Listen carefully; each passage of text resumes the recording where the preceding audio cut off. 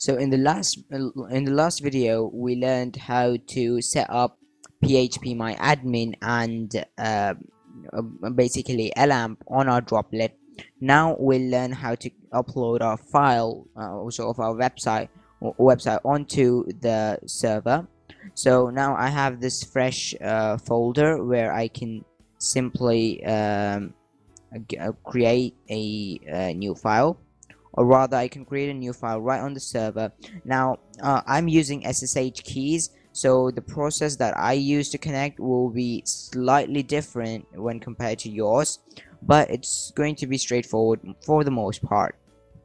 All you need to do is uh, copy the IP address and paste it in then use the username root now if you had normally used some password for your SSH you could enter the password in here. Although we, there's no point in using the password over here since I've set up SSH keys and I'll use port 22 this is very important. You have to use port 22 and anyways now uh, in order to load the SSH key you can just click edit and go into settings then go into SFTP and add key file.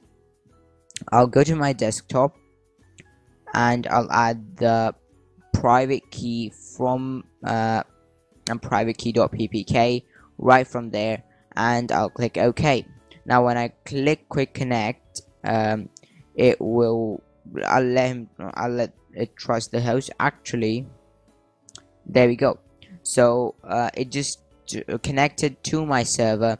Now we just need to go to var www and in here we'll have uh, an HTML directory where you can then go and paste in your uh, files. So let's say this was an example file that I could just create. I'll just say create a new file. I'll call it index.php oh okay. Minor spelling mistake there. Rename index.php and I will open it by saying view slash edit. And it will open up in my default text editor sometimes it might be notepad for you while for me it is um, notepad so I'll just create a basic um, PHP info uh, function over here and it will upload that. Now if I go back to my uh, my server I'll just copy that and paste that in.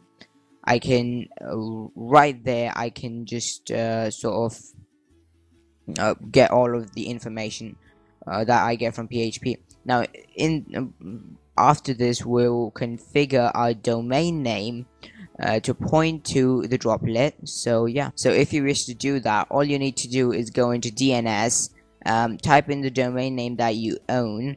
For example, or here I'll say um, you don't really need to own this, but I'll just enter a random domain name. Say um, okay. I'll say digital ocean videos. Even though I don't really own that domain name I'll just enter it.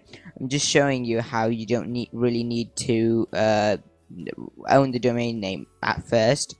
Although it is you can't really do anything if you don't own the domain name but yeah. You just enter in tutorial it'll load in your IP address and you click on create domain uh, it uh, occasionally it will take some time so you might want to wait.